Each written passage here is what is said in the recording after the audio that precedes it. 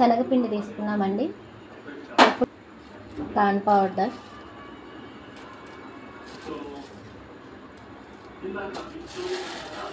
ఉంటే కొంచెం rice flour తీసుకోండి వరిపిండి.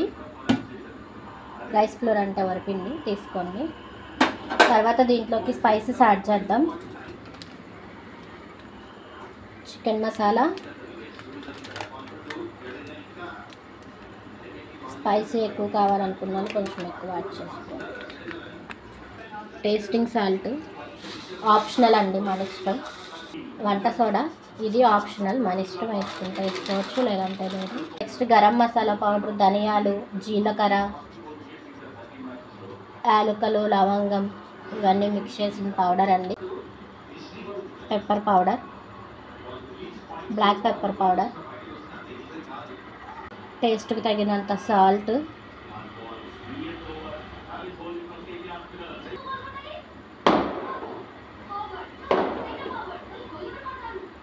మేము కొంచెం ఎక్కువ స్పైసీ తింటాం కాబట్టి కొంచెం ఎక్కువ స్పైసీనెస్ యాడ్ చేస్తున్నాను. కారం ఎక్కువ యాడ్ చేస్తున్నాను.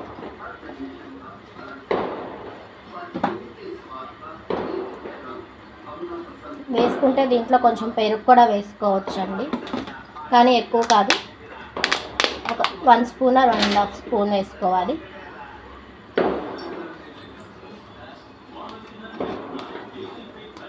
నెక్స్ట్ దీంట్లో అల్లం వెల్లుల్లి పేస్ట్ యాడ్ చేసుకున్నాం కదా.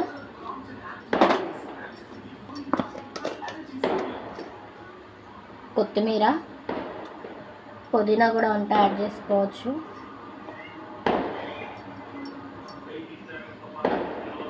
నెక్స్ట్ వచ్చేసి ఫుడ్ కలర్ లేదా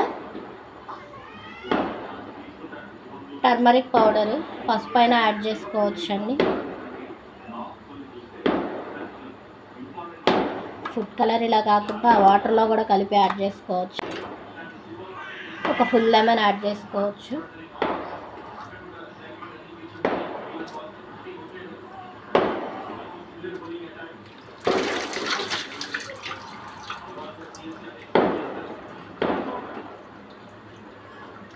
ఇప్పుడు దీని మొత్తాన్ని మిక్స్ చేసుకోవాలి. అంతా బాగా మిక్స్ అయ్యేంత వరకు మిక్స్ చేసుకోవాలి.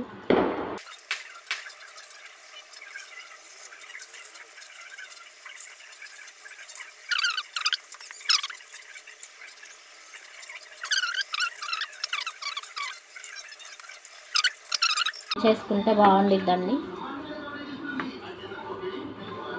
ప్యాన్ హీట్ అవ్వాలి కొంచెం. హీట్ అయిన తర్వాత ఆయిల్ వేసుకున్నాము.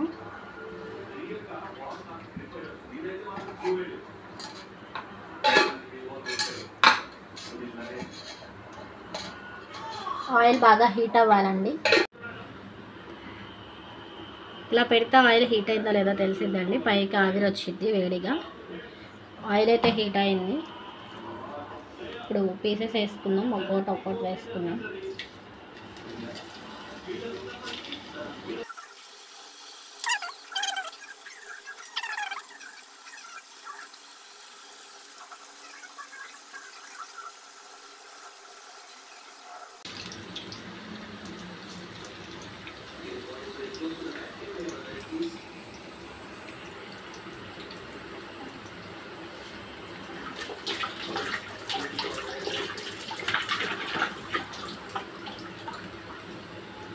హీట్ పెట్టుకోండి మళ్ళీ.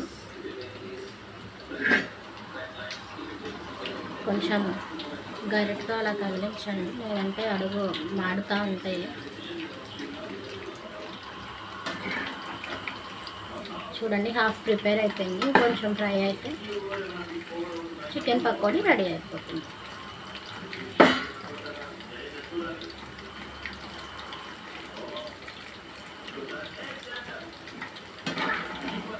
అదిగోండి హాఫ్ రెడీ అయిపోయింది.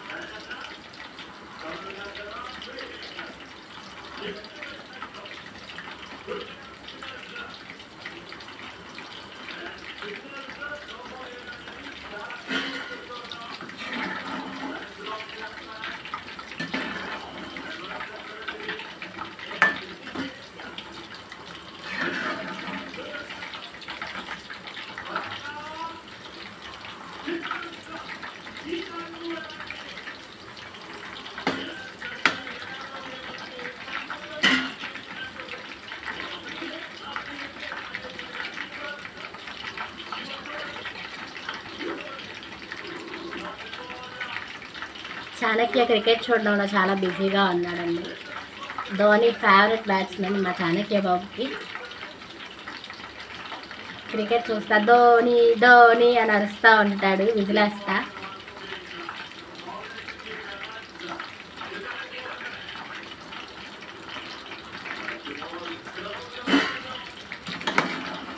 ధోని కోసం వెయిట్ చేస్తున్నాడు మా అబ్బాయి.